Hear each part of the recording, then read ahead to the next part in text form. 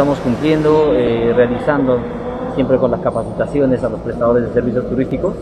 En esta ocasión estamos con eh, hoteles, eh, hospedajes y hostales, brindándoles la capacitación en temas como atención y calidad al, al, cliente.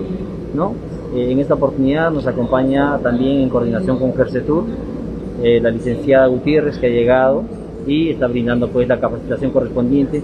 Esto con el fin de brindar una capacitación a todos estos prestadores de servicios para eh, recoger y, recopilar bastantes datos que de repente ellos no, no conocen y desconocen. Es por eso que eh, de repente no se brinda una buena atención. Nosotros queremos luchar contra ello y básicamente ahora que se acerca esta fiesta tan importante como es la FICAFE, en la Feria Internacional de Cafés Especiales, que son los pilares importantes eh, dentro de nuestra ciudad, para una acogida pues de, buena calidad a los turistas y visitantes que se van a dar cita en este mes a, la ciudad de Quillabamba. Eh, este día solamente es para hoteles, este, hospedajes y hostales y el día de mañana eh, se está brindando a los restaurantes y, cafeterías ¿no? para sus respectivas capacitaciones también para una buena atención al cliente.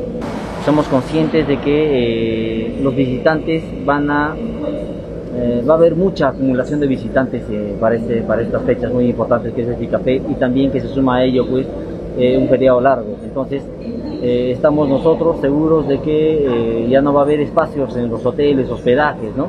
Por eso es que de esa manera hemos invitado también a la población que tenga algunos espacios dentro de sus viviendas, ¿no? Que tengan algunos patios o zonas de esparcimiento, puedan ellos tal vez invitar a los visitantes a poder eh, alojarlos dentro de sus viviendas, ¿no? Siempre y cuando, claro, cumplan con algunos requisitos que nosotros estamos pidiéndoles a ellos. Nosotros como oficina de turismo estamos llanos a propiciar esta iniciativa de que ellos puedan de repente obtener alguna ganancia de ello y también brindar una calidez a los visitantes que se dan cita a la ciudad de Quillabamba.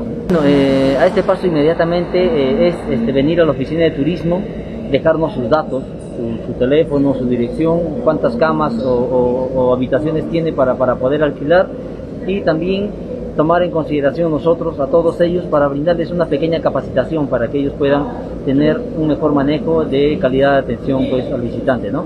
Y no solamente eso, sino también eh, a ellos protegerlos, brindándoles también una capacitación de repente en protocolos de seguridad, porque es necesario siempre que eh, así sean unas casas o cuartos, tengan que brindar siempre los protocolos de bioseguridad que, que exige pues, la norma del Estado. ¿no? Hemos coordinado, hay una coordinación dentro de la de hay una coordinación de transportes que también están siendo monitoreados mediante la Municipalidad y la Policía Nacional del, Perú.